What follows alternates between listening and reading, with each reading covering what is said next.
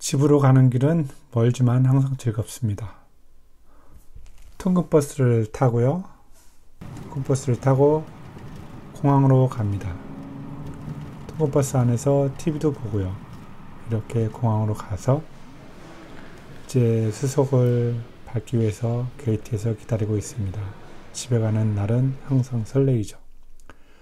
비행기 안에 손님들이 이렇게 꽉 차 있습니다.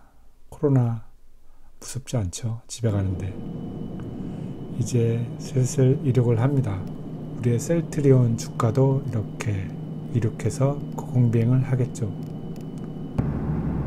하늘 위에서 날아가는 비행기 안에서 밖을 보면 이렇게 평온합니다. 셀트리온도 신국가를 돌파해서 우리의 마음을 평온하게 해주는 날이 곧 오리라 생각합니다.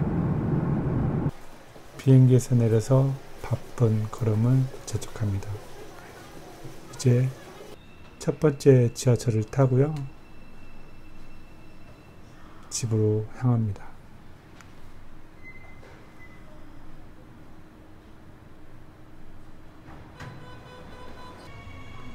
두 번째 지하철을 갈아타고요. 이 두 번째 지하철은 시작점이라서 다행히 앉아갈 수 있습니다.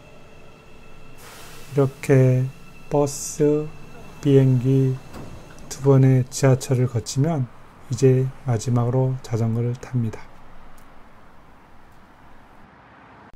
집으로 가는 길은 이렇게 멀고 험난해도 행복합니다.